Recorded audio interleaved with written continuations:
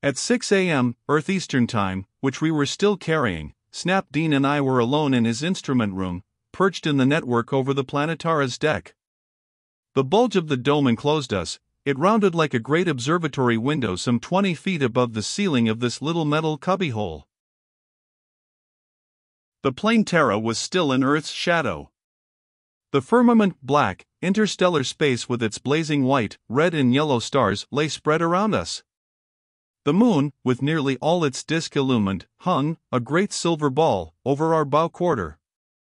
Behind it, to one side, Mars floated like the red tip of a smoldering cigar in the blackness. The Earth, behind our stern, was dimly, redly visible, a giant sphere, etched with the configurations of its oceans and continents. Upon one limb, a touch of sunlight hung on the mountain tops with a crescent red yellow sheen. And then we plunged from the cone shadow. The sun, with the leaping corona, burst through the blackness behind us the earth lighted into a huge, thin crescent with hooked cusps. To Snap and me, the glories of the heavens were too familiar to be remarked. And upon this voyage, particularly, we were in no mood to consider them. I had been in the radio room several hours. When the Planetara started, and my few routine duties were over, I could think of nothing save Halsey's and Carter's admonition be on your guard and particularly watch George Prince. I had not seen George Prince. But I had seen his sister, whom Carter and Halsey had not bothered to mention. My heart was still pounding with the memory. Dr. Frank evidently was having little trouble with pressure sick passengers. The Planetara's equalizers were fairly efficient. Prowling through the silent metal lounges and passages, I went to the door of A22. It was on the deck level, in a tiny transverse passage just off the main lounging room. Its name grid glowed with the letters Anita Prince. I stood in my short white trousers and white silk shirt, like a cabin steward staring. Anita Prince! I had never heard the name until this night. But there was magic music in it now, as I murmured it. She was here, doubtless asleep, behind this small metal door. It seemed as though that little oval grid were the gateway to a fairyland of my dreams. I turned away. Thought of the Grantline moon expedition stabbed at me. George Prince, Anita's brother, he whom I had been warned to watch. This renegade associate of dubious Martians, plotting God knows what. I saw, upon the adjoining door, a 20, George Prince. I listened. In the humming stillness of the ship's interior, there was no sound from these cabins. A 20 was without windows, I knew. But Anita's room had a window and a door which gave upon the deck. I went through the lounge, out its arch, and walked the deck length. The deck door and window of a 22 were closed and dark. The deck was dim with white starlight from the side ports. Chairs were here, but they were all empty. From the bow windows of the arching dome, a flood of moonlight threw long, slanting shadows down the deck. At the corner where the superstructure ended, I thought I saw a figure lurking as though watching me. I went that way, but it vanished. I turned the corner, went the width of the ship to the other side.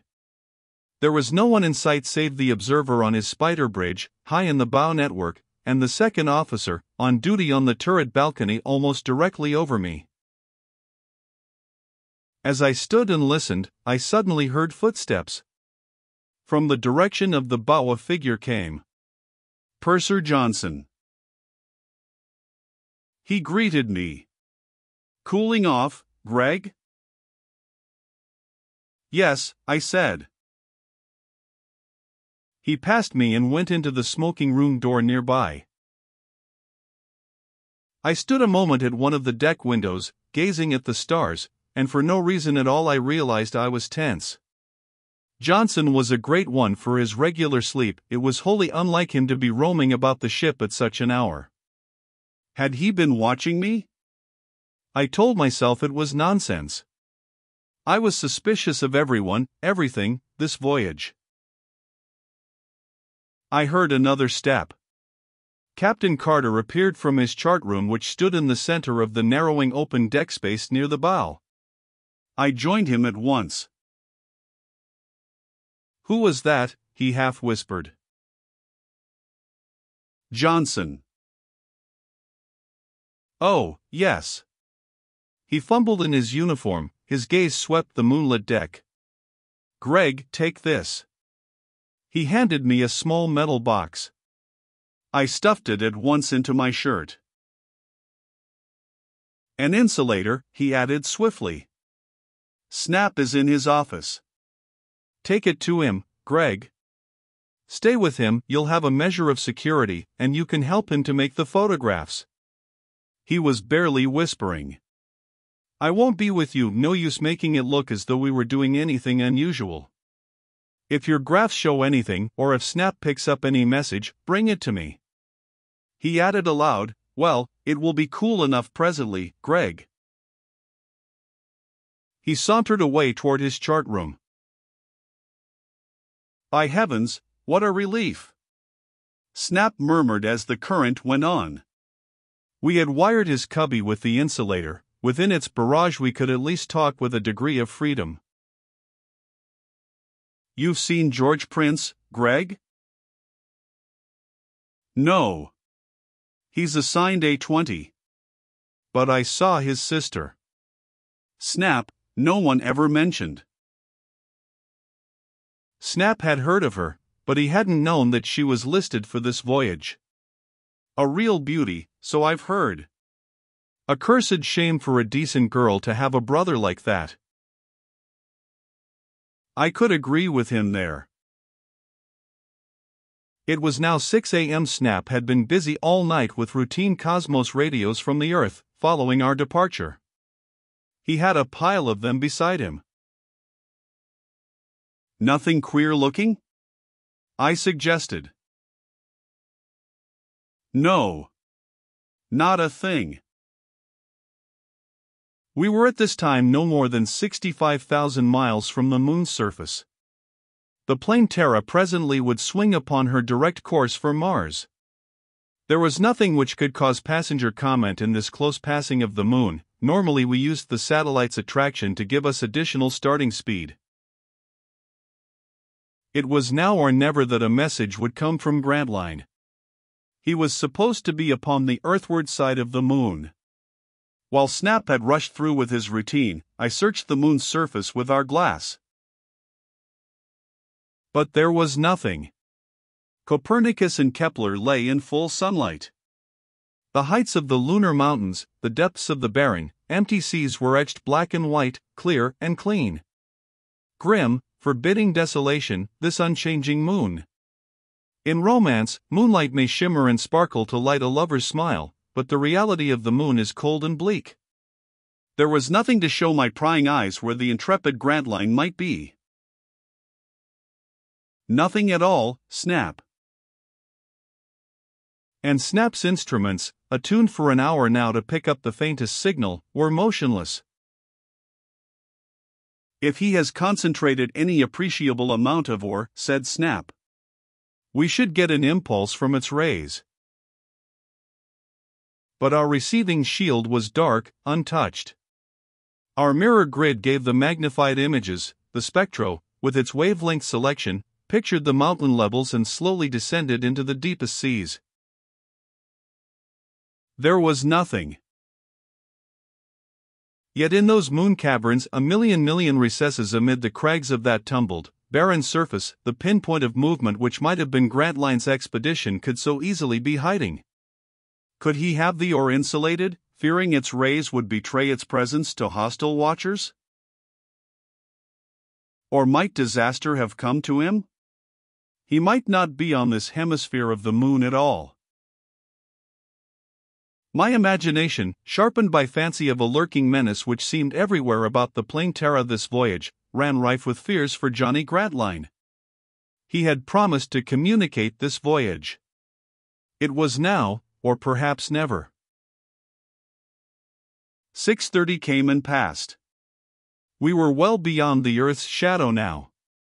The firmament blazed with its vivid glories, the sun behind us was a ball of yellow red leaping flames. The earth hung, a huge, dull red half sphere. We were within 40,000 miles of the moon. A giant white ball, all of its disk visible to the naked eye. It poised over the bow, and presently, as the Planetara swung upon its course for Mars, it shifted sidewise. The light of it glared white and dazzling in our windows. Snap, with his habitual red celluloid eyeshade shoved high on his forehead, worked over our instruments. Greg. The receiving shield was glowing a trifle. Rays were bombarding it. It glowed, gleamed phosphorescent, and the audible recorder began sounding its tiny tinkling murmurs. Gamma rays. Snap sprang to the dials. The direction and strength were soon obvious. A richly radioactive ore body was concentrated upon this hemisphere of the moon. It was unmistakable. He's got it, Greg. He's. The tiny grids began quivering. Snap exclaimed triumphantly, Here he comes. By God, the message at last. Snap decoded it. Success. Stop for or on your return voyage. We'll give you our location later. Success beyond wildest hopes. Snap murmured, That's all. He's got the ore. We were sitting in darkness, and abruptly I became aware that across our open window, where the insulation barrage was flung, the air was faintly hissing. An interference there. I saw a tiny swirl of purple sparks. Someone, some hostile ray from the deck beneath us, or from the spider bridge that led to our little room, someone out there was trying to pry in. Snap impulsively reached for the absorbers to let in the outside light. But I checked him. Wait. I cut off our barrage, opened our door, and stepped to the narrow metal bridge. You stay there, Snap. I whispered. Then I added aloud, Well, Snap, I'm going to bed. Glad you've cleaned up that batch of work. I banged the door upon him. The lacework of metal bridges seemed empty. I gazed up to the dome, and forward and aft. Twenty feet beneath me was the metal roof of the cabin superstructure. Below it, both sides of the deck showed. All patched with moonlight. No one visible down there. I descended a ladder. The deck was empty. But in the silence, something was moving. Footsteps moving away from me down the deck. I followed, and suddenly I was running. Chasing something I could hear, but could not see. It turned into the smoking room. I burst in. And a real sound smothered the phantom. Johnson the purser was sitting here alone in the dimness. He was smoking. I noticed that his cigar held a long frail ash. It could not have been him I was chasing. He was sitting there quite calmly. A thick necked, heavy fellow, easily out of breath. But he was breathing calmly now.